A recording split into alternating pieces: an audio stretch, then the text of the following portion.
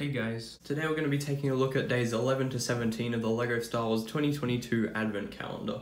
Now this is a few days late because for the week 3 episode that's supposed to come out every Saturday and yeah, I, I, would, I just didn't feel like doing it. I don't have an excuse this time, I got over COVID really quickly. But anyway, let's get into it.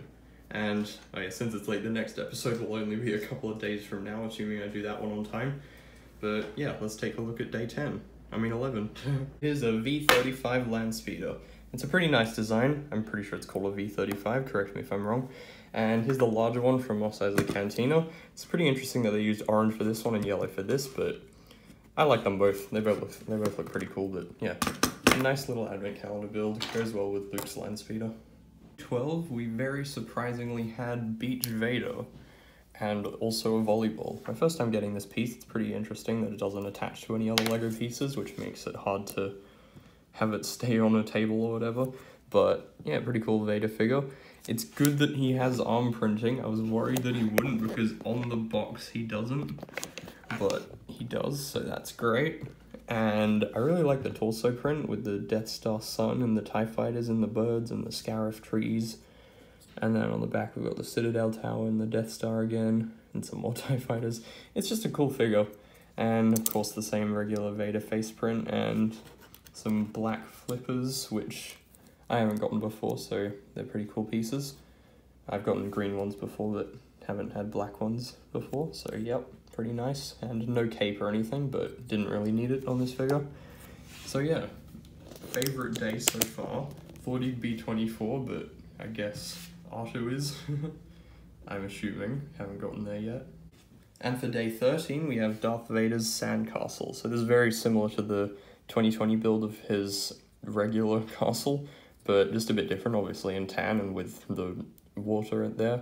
And it also has this little red bucket, which I just pulled the handle off of, and a spade for Vader, so you can give Vader the shovel and the bucket or whatever. And you can have Vader making his sandcastle. Pretty cool couple of days. Definitely like them and this is probably one of my favorite Christmas figures of all time.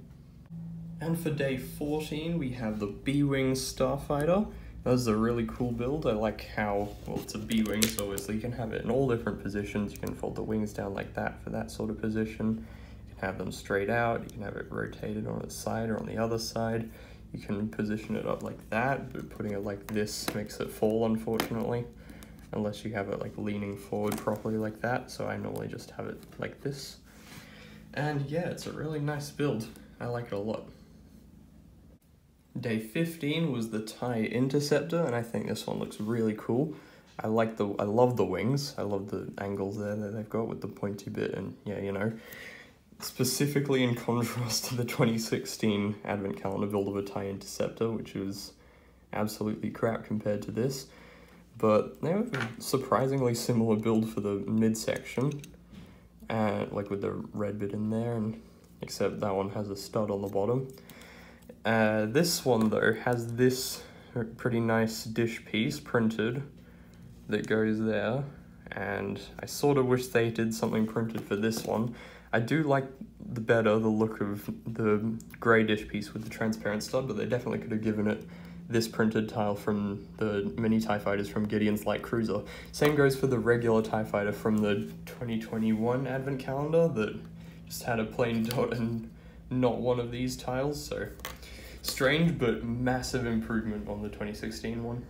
Day 16 is this, and I'm not exactly 100% sure on what this is supposed to be, which is annoying because I normally like to know my stuff, but I've heard some people say that it's based on that 2019 set, the Death Star Escape, where Luke and Leia like swinging across the gap, and then this is the mouse droid from the set. But I don't know where what this is supposed to look like in the set. Like if this is one of the doorways, why has it got the cheese slopes in there so nothing can stand there? And what's the point of having people stand there if it's so small anyway? And then a stud shooter on the side. It's cool to get this new stud shooter piece with the in black and stuff. You can give it to the snowtrooper or whatever. But why is it on the side like that? What is this little box supposed to be? What's the little archway for? What's the mouse droid supposed to do? Like, I'm just really confused. so I'm not sure I can really say how much I like this one. And finally, for day 17, we have the aforementioned Snowtrooper. So, yep, face print, nothing special, just a Snowtrooper. Got a bunch of them from the Snowtrooper Battle Pack this year. Yeah, just nice little army builder. Wasn't really necessary, but like goes well with the other Hoth stuff in the set. And that's every day of the advent calendar so far. Uh, if you enjoyed the video, please make sure to like it and consider subscribing to the channel and keep an eye out for week 4, which will come hopefully in two days time on the 24th, unless I get sidetracked. See ya!